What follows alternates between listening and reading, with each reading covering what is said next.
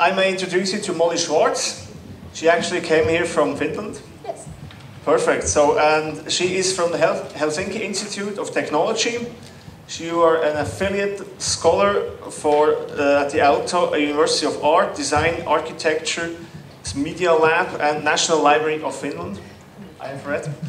And we need to put this online, otherwise we don't see you on the screen.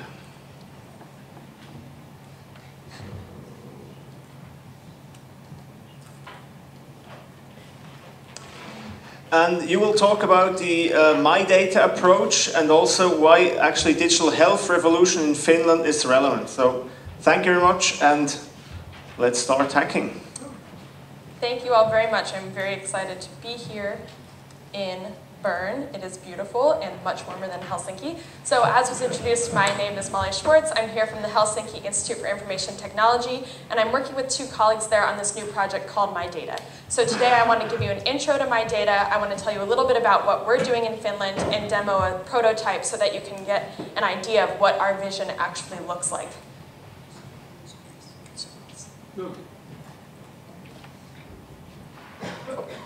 Um, and we actually are working on this project very much in affiliation with Open Knowledge Finland. All three of us are active members there, and this is highly publicized there as well. So, just to get you started, uh, My Data is basically a human-centric approach to organizing our personal data. To set the landscape, our personal data is everywhere, as you probably well know. Uh, a lot of your location data is collected by telecommunications companies. When we're looking at these wonderful open data sets that governments are putting out, some of them involve personal data. They involve things like the Ministry of Transportation actually tracking where you go to try to provide smarter services. Um, your health data is located places, your retail data, your purchasing habits are collected by different corporations. And oftentimes, we're not very well aware of what's happening with this data, and even more detrimentally, we're not organizing how it's managed, and we don't have access back to it. So for example, when you have a loyalty card to some kind of uh, grocery store or something like that, and they're collecting your purchasing habits, you don't have any way to then go online to their website and say, hey, let me download what my purchasing habits were because I'm curious to link it up to my financial management service so I can see how much money I'm spending on these different projects, right? And when you start thinking about this, oftentimes the reaction and some things that we've seen are paranoia. Your thought is, oh my goodness, I have no idea what's happening with this personal data. My privacy is being violated. I would rather get off the grid. I'm going to ditch my smartphone, get an old Nokia, problem solved, right? But as we talked about this morning, there are loads of great opportunities and benefits of having open data sets, of providing smarter services, of doing big data analytics. We can see how thick the ice is in Finland. We can um, have smarter procurement services and things like that. And this is also a huge business opportunity uh, Boston Consulting Group uh, came out estimating that within a few years, uh, personal data will be a $3 trillion industry. And you have places like the World Economic Forum saying that personal data is actually an entirely new asset class. So this is a growing issue, and you all are probably well aware of the legislation coming out of um, the EU regarding personal data protection and management. So the question is, how do we provide an ethical solution that puts the individual back in control of his or her personal data without hampering the potential innovations and actually putting in place a system that helps facilitate future innovation? So the purpose of my data is to create an open, standardized, and mediated personal data architecture system that empowers the individual to manage how his or her personal data is um, accessed, collected, shared, and linked in ways that actually makes the individual an agent of innovation rather than kind of the object or the victim in this larger innovative scheme. So the My Data principles are that, as I mentioned, it's human-centric. Uh, each person has a right to his or her data, so you have a right, and sometimes we actually do have the legal right now to access our data. So for example, uh, you can do something like my colleague Antti did, and you can contact your mobile operator and say, I would like to download the data that you have about me for this time period, and he got back a huge stack of printed out papers of all of his transactions that's not hugely useful if you're looking to then apply it to another service or a different API. So putting the individual in control and trying to maximize the benefits of data collection while minimizing the losses of privacy.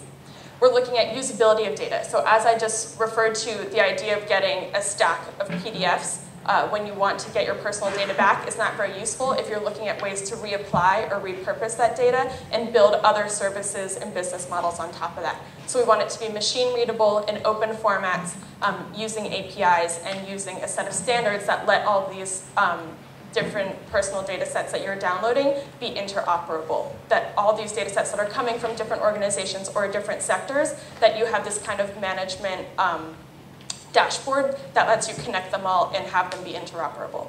And also looking at an open business environment. As I said, interoperability is a core uh, component of this, as is data portability. So with my data, as I'll explain in a second a little bit further, we're looking at providing this data management level through a My Data operator system.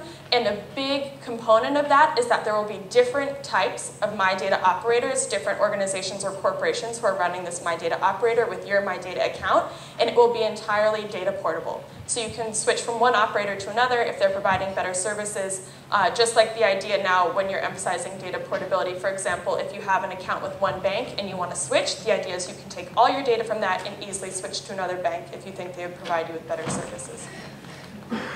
Uh, so this concept is that we're connecting these different data sources. This uh, visualization is supposed to give you the idea that the individual is the correlation and the control point for all these different data sources. So has, as you have data coming in from transportation different things like that, the individual is managing all this on one platform, seeing how their data is being collected and shared, having a platform by which they can manage the consents, so the real core part of the My Data dashboard is that you are managing your consent to who is accessing what data and then how you can then send it to another data source, right? And then from there, we can build off other applications and services on top of that.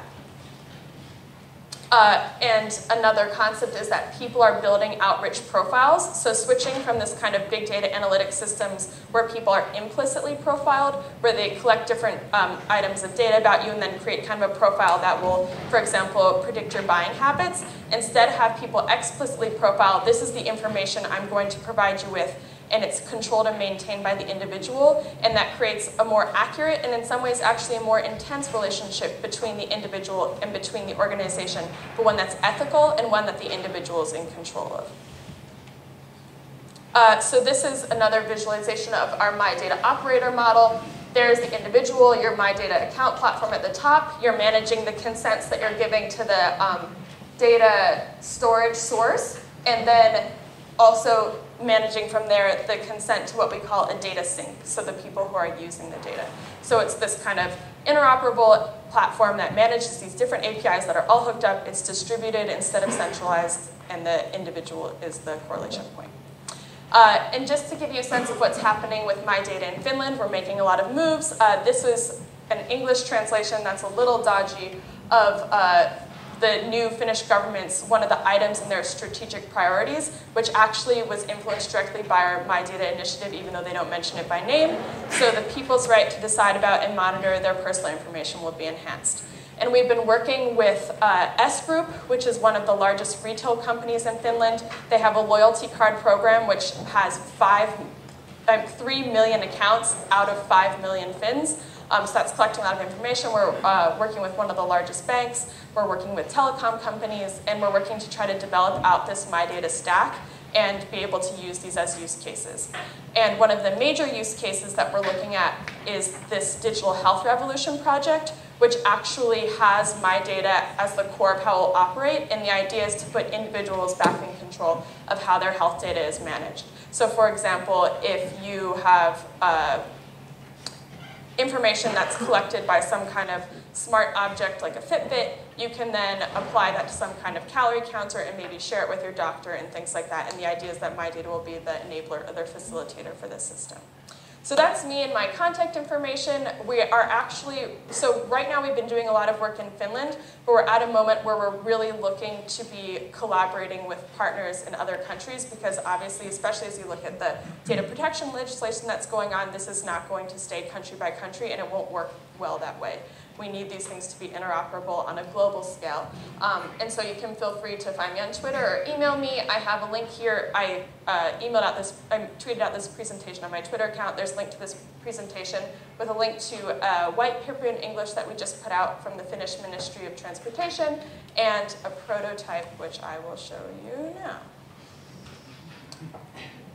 So this is kind of a brief visualization. Yes, uh, if you use, if you have access to your data, the idea is that all of us will one day be healthy, standing tree yogis on a cliff. Um, so you go down, you say, let's get started on visualizing my data today and how it started. You log in, blah, blah, blah, and then welcome to my data. So these are these different um, services that you have. For, so for example, S Group, the retail chain we mentioned, MyFitnessPal, some kind of fitness tool that you're using, your um, insurance account, all these different things from different sectors all managed on one platform. And then let's say that you want to connect your MyFitnessPal account to, to be able to share the data with other things. So for example, you can take in your purchasing habits, what food you're buying from S Group, and have it connected to your fitness data.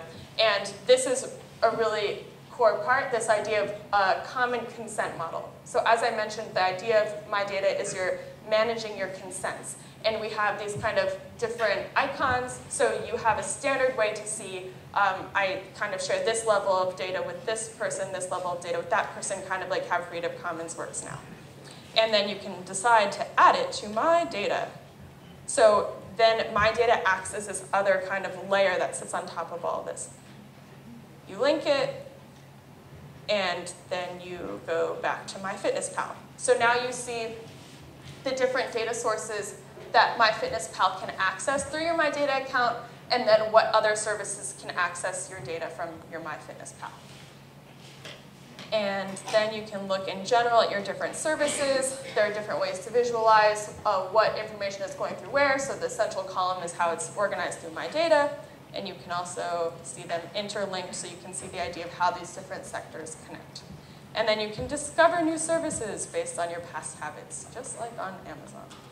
Um, so that's the basic concepts. There will be a workshop later with some of the things that have been going on with the Similar My Data initiative in Switzerland. Lots of these different similar kinds of services or ideas or concepts are popping up in different countries and we're really looking to link them so we can set kind of a standard protocol and model that will let them all be interoperable. And I look forward to any of you reaching out if you have any thoughts or ideas.